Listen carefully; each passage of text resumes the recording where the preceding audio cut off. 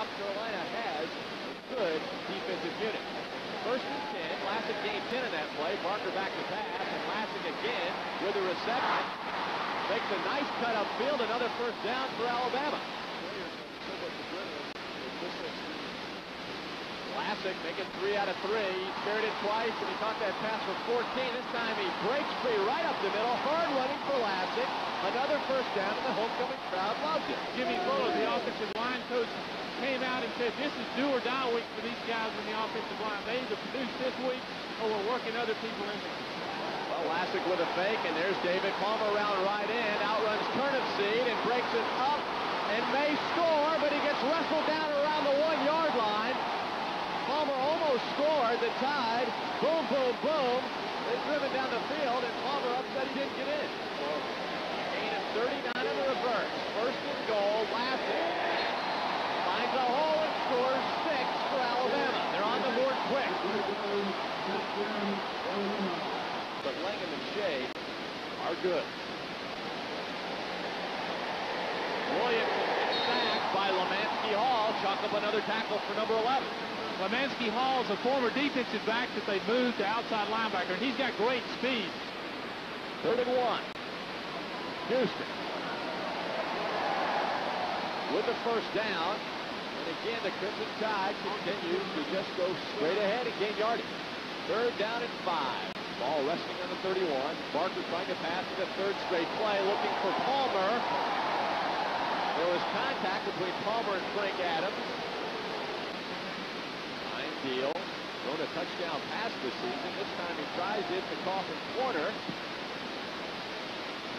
Where they spot it. Looks like he might have pinned him down inside the 20. DeBoer off the right side.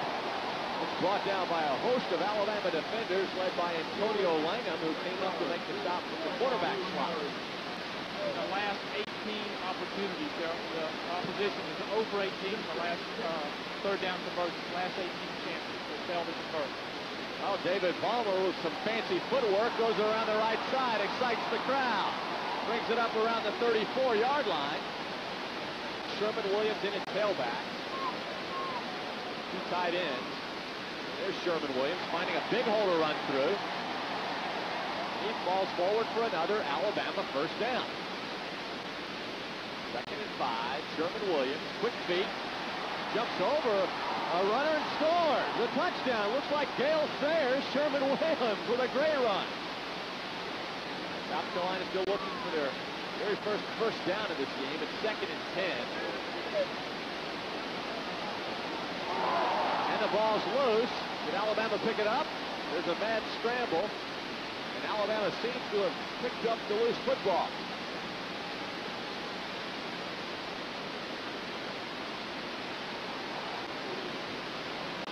There you saw that rushing statistic. Chris Anderson adds even more to it. It's up close to another first down. Maybe seven. Second down and two. Ball in the six. Barker back to Anderson. Anderson goes in for another touchdown.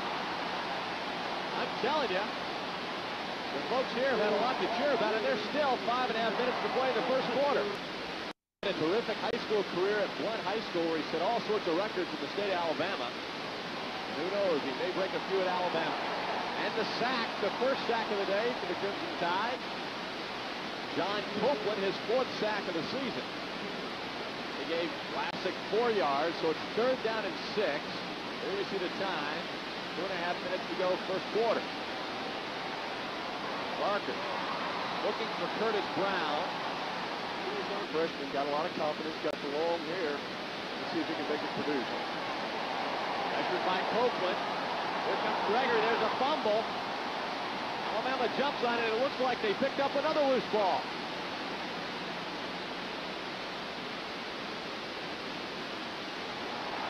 Yes, sir. Alabama has the football. Another turnover. He puts it in.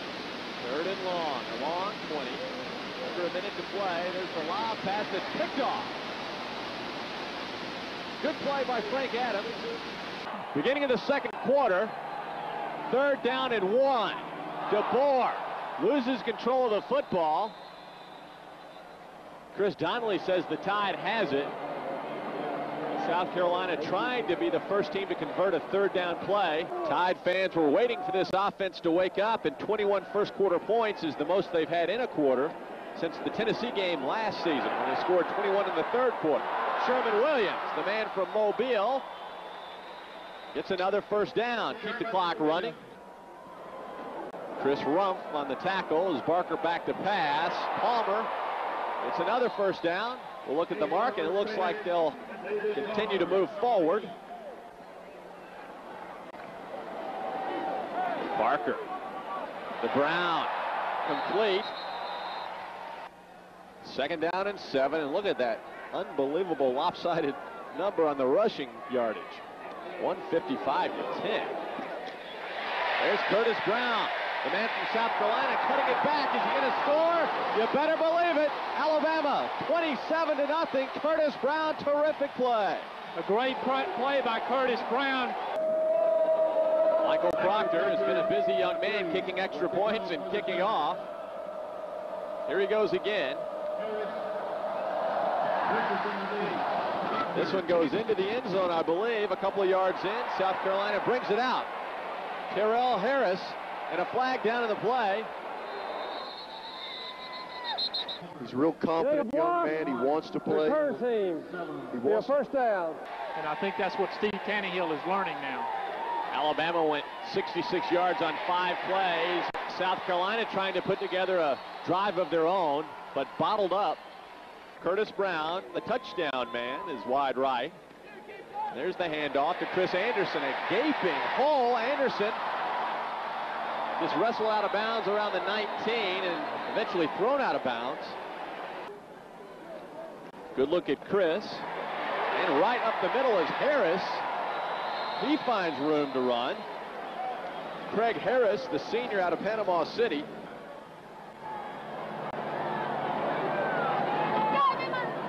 Chris Anderson will try to go back around to the other side. Burgdorf lays down a block, but he gets brought down. Keith Franklin on the stop, 53. There you see Campbell. Probably uh, one of the most talented players on South Carolina's ball, team. Personal foul, defense, automatic first down. You've thrown the Alabama offense for a loss, and instead it's first and 10. Burgdorf to Harris, touchdown, Craig Harris. The senior gets excited his final homecoming appearance. You wonder why the score is 35 to nothing. Williamson to DeBoer.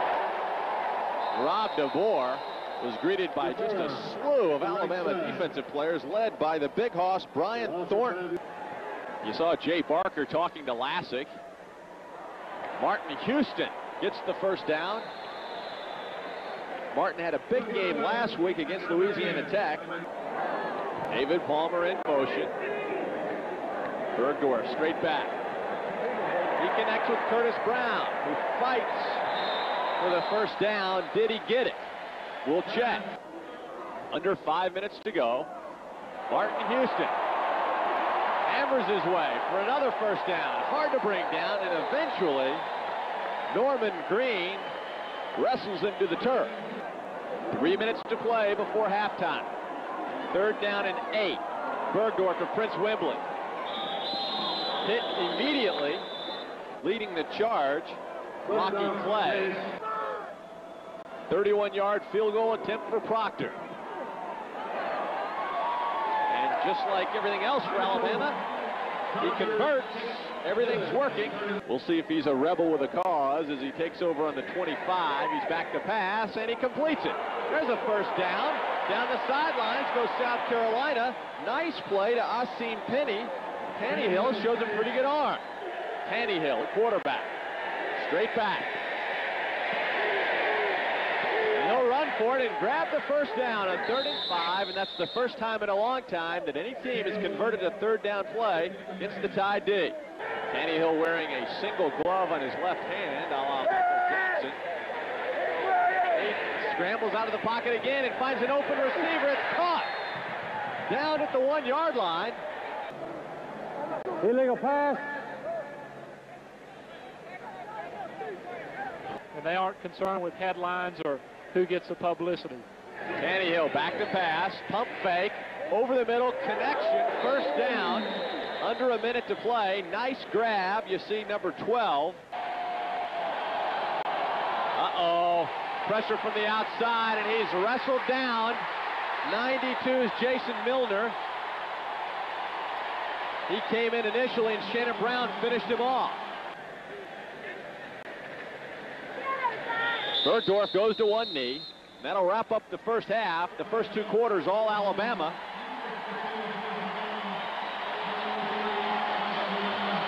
You're watching Southeastern Conference football on video seat. The Tide looking to go 3-0 in the conference. Williamson looked like uh, he was trying for the shuttle pass. It was cut off, just basically threw it into the turf. Second down and 10 from the 34. There's the draw play to Lassic, which has worked so effectively throughout the season, especially against Arkansas. Lassic goes for a first down. Joey Harville, the right tackle for Alabama, there did a great job of letting that uh, defensive lineman come up the field and then cutting him. He worked on that play.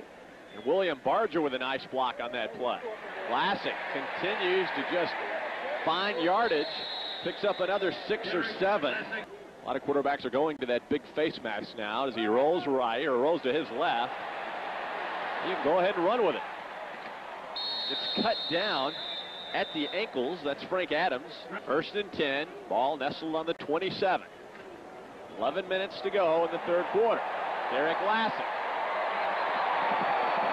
puts his head down and slides to about the 10-yard line. A gain of 17 for the senior. Also coming up, helping up, helping out on that run.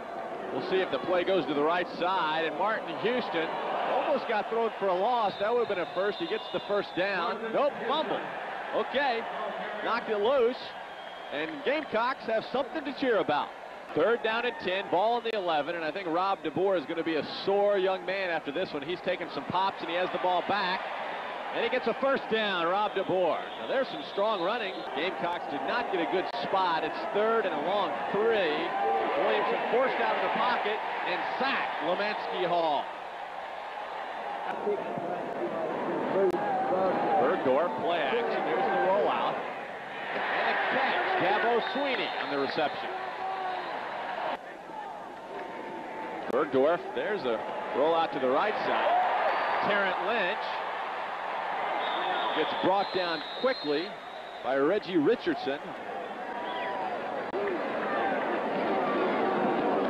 Burgdorf. Chris Anderson comes close to making the catch. Burgdorf pressured. He's played a good game. He's come up very well on the run, and that time putting pressure on Burgdorf. Got there just as the ball was released and affected the release on the ball. Cam Green, the field goal kicker from a year ago, converts on a 27-yarder. That's good to see. Oh, Scared to death? Well, it was against the number one ranked team in the country. I had to start it off against Miami. I went out there and told myself, just don't turn around and look at them until you've got to. Rob DeBoer. Is that Rob? No. That's Terry Wilburn. Finding room to roam. Down to the 33-yard line. Hey, give him a hand. Terry Wilburn, great return. 62-yard return for Bennett. And another strong run by Mike Reddick, freshman out of Miami, Florida. Speaking of Miami, full house backfield, double tight end, hammered at the line, and he did not get the first down. Big hit, Rob DeBoer could not bore through the line. What a stick. Fourth down and inches. First down, South Carolina. Nice play, good blocking, first down for Mike Reddick. He's a senior. You better believe some NFL teams will look at him. First and 15, Taneyhill back in, and here comes everybody. Well, number 90 was hooping and hollering, but it was really Will Brown. Will Brown, number 17. Seven ticks to go. And that's where you're headed. St. Penny catches the pass against Jeff Wall down to the two, and that's a mismatch when you think height-wise, size-wise. Jeff Wall's 5'7". Uh-oh, they got back that time. There's the pitch back. Touchdown, South Carolina. They're on the board.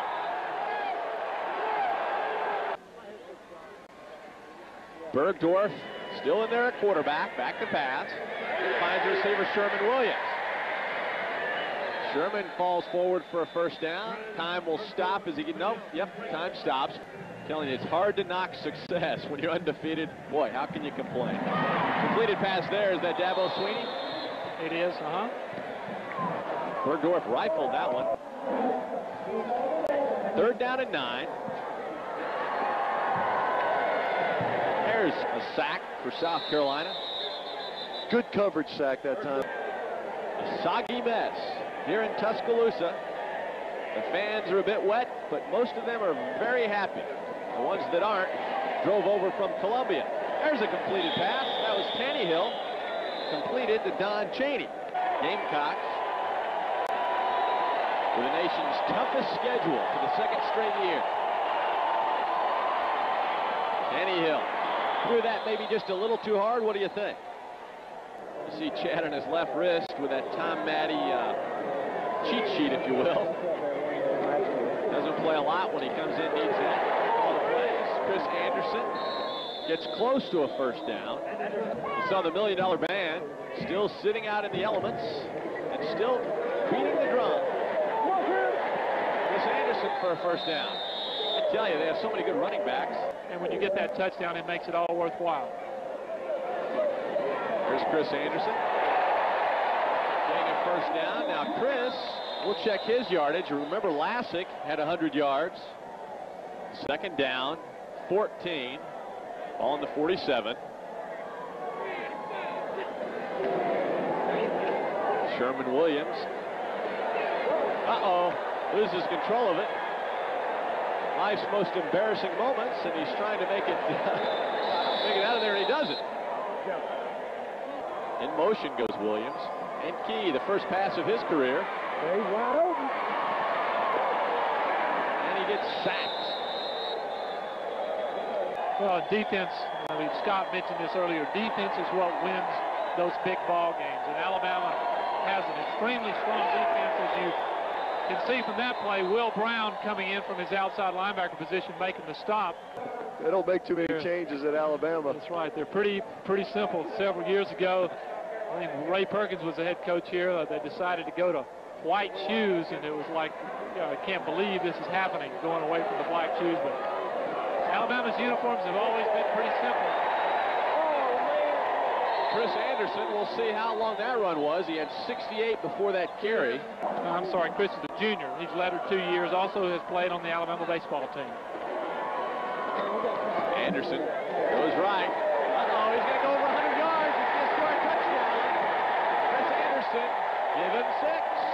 Alabama on the board again. 37-yard carry. Before that, it was 15. 15 seconds to play. Alabama started playing homecoming games in 1920.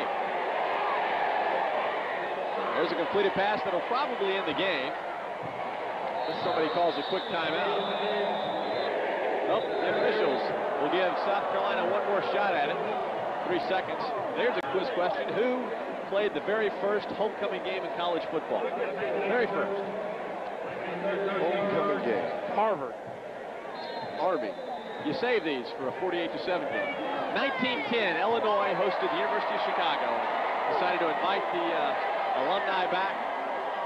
And they were the very first.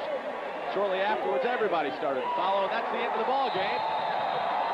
Crimson Tide on top, 48 to 7. Gene Stallings will come across and shake hands with Sparky Woods. There's the score, 48-7.